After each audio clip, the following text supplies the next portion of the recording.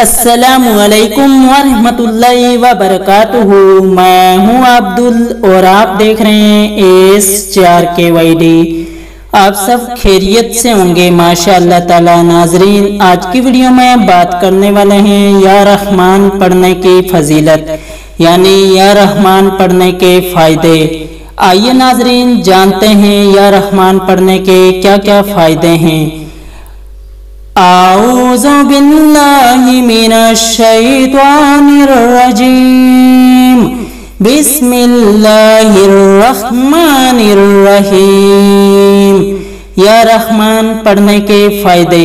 یا رحمان یعنی بہت دیا کرنے والا.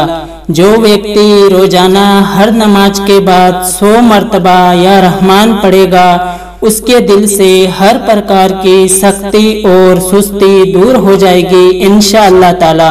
پیارے دوستو، اس عمل کو کرنے کے لیے تین مرتبہ شروع میں اور تین مرتبہ آخر میں اول، آخر دروس شریف کا ضرور ورد کریں اور پانچوں وقت کی نماز کی پابندی کریں۔ اللہ تعالیٰ سے ہمیشہ اپنے گناہوں کے بارے میں استغفار کیا کریں۔ دعاؤں کی گزارش، السلام علیکم ورحمۃ اللہ وبرکاتہ۔ ملتے ہیں انشاءاللہ ایک اور نئی ویڈیو کے ساتھ۔ تب تک کے لیے ہمیں دیجیے اجازت۔ اللہ حافظ۔